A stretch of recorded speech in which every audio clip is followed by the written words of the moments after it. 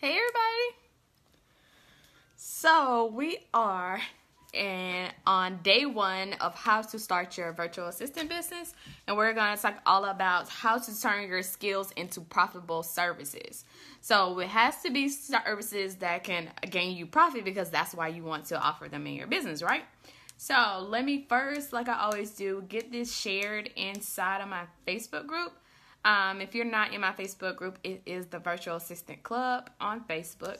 So make sure you join us there. Uh, so let me get this shared. And when you're hopping on, say hi. Um, let me know how did you find this video um, and what kind of questions you have about um, creating your services. What will you offer? So one second, I'm gonna get this right in the group. There's my group. Let's see if I can uh, post that in here. Uh, let's see if I can get this out. Okay, here we go. So when you're hopping on, say hey. Let me know what day you're excited about the training. There we go. All right, I have that in my group. So I'm gonna wait for some people to hop on, but I'm gonna go ahead and go into an intro for. Um, I know a lot of people found this um, this live training series on Facebook and Facebook groups, and they're new to me um, in my page. So I am Neka Williams. I am a virtual assistant, and I'm also a virtual assistant coach. So I've been offering virtual assistant services for about two years now, and then um, I started my virtual assistant, um, yeah, virtual assistant coaching business because a lot of women, a lot of moms um, wanted to know how did I do it. Um, and so that took off, and then I offer a lot of free trainings a lot of free challenges, uh, workbooks, um, all of that. So if you are not inside of the Virtual Assistant Club, you might want to come join us because I drop a lot of exclusive content in there. So that's why I'm sharing this training inside of my group. So, um, also, I am here in Georgia and it is sounding like it's about to thunder. So, um, I hope nothing happens crazy. So we'll just wait for some people to go ahead and hop on. And when you hop on, say hi. Um, let me know if you have any kind of questions because I will be answering questions at the end. Okay, but so when a lot of people come to me, and I don't know why this is like a shiny light right here, but like when people come to me, they always ask me like, what should I offer? I don't have virtual assistant um, experience. Um, I don't have a website. I don't have a social media following. I don't even know what to offer. I don't know where to start. So I always um, look back and say, um, kind of look back at what you're good at. It doesn't have to be something that you're actually skilled in or have like a college degree, high school diploma, um, work experience, but what do you like doing? So I tell this story all the time. I was working um, for corporate and doing a lot of admin work. So of course I started off of that when I jumped into my virtual assistant business. But I also looked at what did I want I like doing, what were I good what was I good at, and what did a lot of my family and friends ask me for. Um, and so that was pretty much like um, organizing everything. So um, one thing that kind of took like stood out to me was I planned help plan um, a family vacation for like seven people. And so we went on a cruise, so we had a lot of paperwork that we had to get because we had some kids come with us too. And so when we are at the counter and um, I had all the paperwork um, in a handy folder, I handed it to the lady. I had all the people in line ready to take their pictures. And so when we got done, the lady was like, "Oh my God, you are the most organized!" And this was such a fast process when it normally takes forever for a lot um, of the other guests. So um, when I look think about that, I was like, "Okay, I can offer project management because I am super good at seeing the big picture, but I am super good at breaking down that big picture into tasks that can be done on a day-to-day basis or whatever kind of time flow we have for the client. So I offer project management. I do I have not went to school for that. I did not work in corporate in that field. I just start offering that because I was really good at it. So what you want to do and I hope you have your workbook handy that came with this training. If you don't, go ahead and check your email for our email with all the scheduled trainings and then your um your workbook will be in there as well. So the first page is all about identifying your services. So we want to look at what you are, uh, what you like doing, and what you're also good at, and then that's a way you can figure out how can you serve others doing those. Um, we create our business so we can have fun, so we are happy because a lot of us leave corporate because we're just unhappy. We're not having, um, we're not happy with our day to day basis as far as what we're doing. So in your business, don't feel like you have to do something that you don't want to do. Um, you can definitely offer any kind of service that you want. You can train, get better at it, take courses, YouTube, Google, whatever it is, um, to go ahead and figure out what you want to offer and get better at that skill set if you want to up level um, in it. So it doesn't matter about any kind of um, experience, VA experience. Um, no, and I've seen this a lot too. Um, that some potential clients or some people in Facebook groups, they're like, I'm putting together my resume, or some kind of potential clients will say, drop your resume. Um, this is not corporate, this is your own business, so we don't use resumes here. So I would say more so of a portfolio if you want to have like a one sheet that kind of goes into what you do, a little bit of your background, your services, even if you want to have like one pricing, little sample um, of your pricing or starting at um, to give them a little um, idea of what they'll be investing um, in when they hire you on. So um, definitely do that, but I def I don't really recommend building up resumes or using resumes because this is definitely different from corporate. Um, and certain things that we do in entrepreneurship and building our own business do not translate um, from like corporate standards or what they do. So a lot of people um, want to have like certifications and they want to have um, you know do different things as far as to prove their way, prove that they are this um, like authority or credible of it. So you don't have to do that. You can start from where you're at. You can always build up. People just want to know that you can deliver the results. Um, they want the results. They want the end goal, and so that's what you should focus on when you're offering your services. If you are brand new, you can still um, serve someone. So um, definitely grab that workbook and uh, look into it and go ahead and complete page one.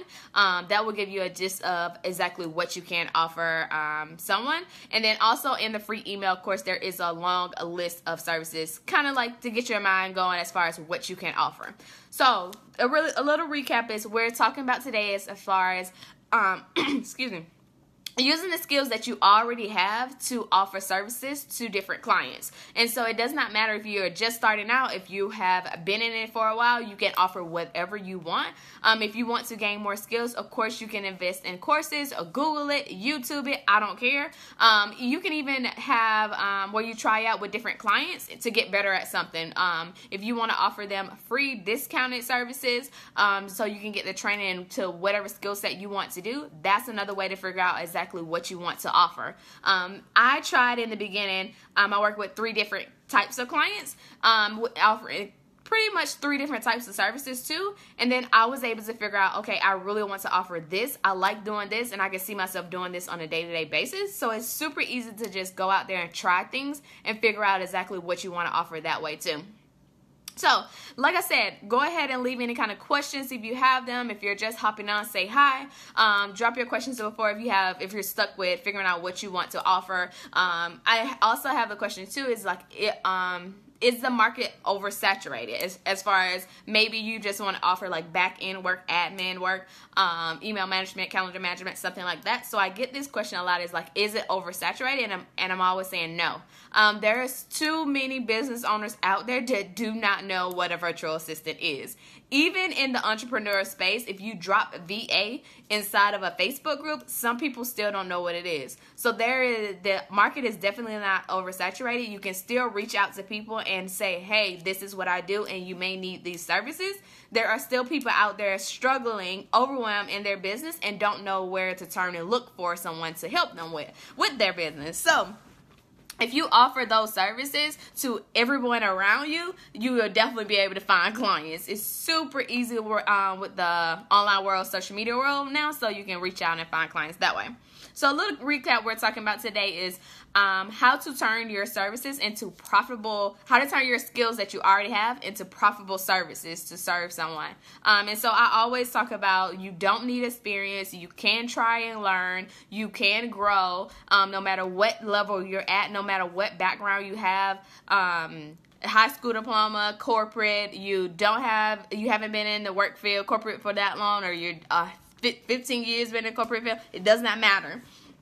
So go ahead and um, jump in um, at the spot that you're at. You learn as you go. Um, and so tomorrow we're going to be talking about my secret strategy strategy to pricing those services. So my number one way as far as how do I price any kind of service for any um, client. So we'll kind of go into my um, little secret thing that I do all the time if you're struggling with pricing your services. Um, and so yeah, this is a five day training series. So um, I will be providing these to you Monday through Friday one day a week. If you're watching a replay, go ahead and drop replay so I know to keep these videos up. Um, but if you have any kind of questions, leave them below. Um, of course, um, right now, if you want to dive deeper into your certain situation and to get personalized help, of course, the VA University is open. Um, we go into these topics as far as services, pricing, pitching, um, your sales calls process. We go, we dive 10 times deeper um, than I do on my live streams or in my course because it's super easier to um, have some feedback from you, the audience, or the person so we have like one-on-one um, strategy sessions where I figure out what your goals are, what you need, what you're looking for, um, and then we come up with a plan to get you to that. Um, and if that is starting from scratch, then we definitely will work through that. If you uh, have a little bit of experience, then we up level you, no matter where you're at in the process. So if you want more information, of course, the VA University will, the link will be down below. We are closing, doors will close on Friday. And the next time I open it back up, which I don't have a date as of yet, but the prices will, it will be increased. Um, spots are filling up pretty quickly. And so um, I'm thinking we may sell out before a Friday even comes. So I'm super pumped about that.